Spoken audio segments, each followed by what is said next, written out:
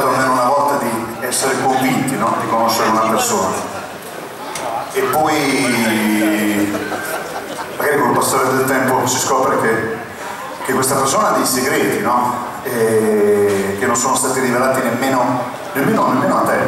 ed è difficile a volte cercare di convivere con questa cosa non si sa se per una sorta di protezione o di pudore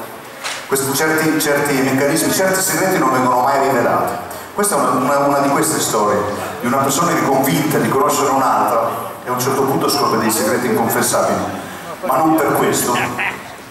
il rapporto fra queste due persone cambia, perché qualunque sia l'eventuale errore che c'è stato, se due persone si vogliono bene, questo passa soprattutto. È una canzone che si chiama Novembre Mattino.